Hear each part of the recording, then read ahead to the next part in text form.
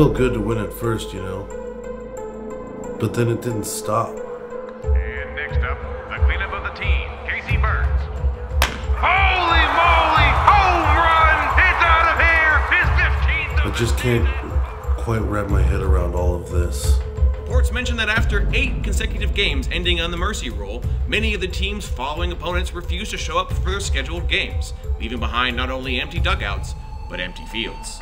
A sad state for our community. You know, being on the winning team is something I'm familiar with. I was breaking records at 15. Look, the trophies were nice at first, you know, but the people here are insane. Rico wants $400 a month for these kids. $400. My Corolla doesn't cost $400. Yeah, hello. Uh, my name's Rico Romolo De Rossi. I'm the chairman of Sparks, uh, located in Sparks, Nevada. Did you did you name the team?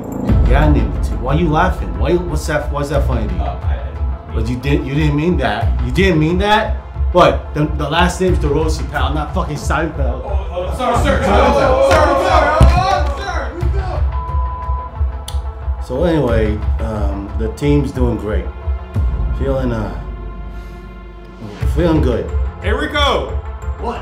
There's gonna be milfs at the playoffs, right? You don't think the kids have a good role model? What? No, God, no. Oh, there's gonna be melting cookies, baby. Yeah! Yeah! yeah! Melting cookies. Yeah! Big one right here. Look at that.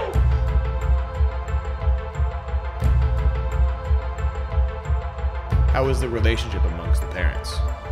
Uh,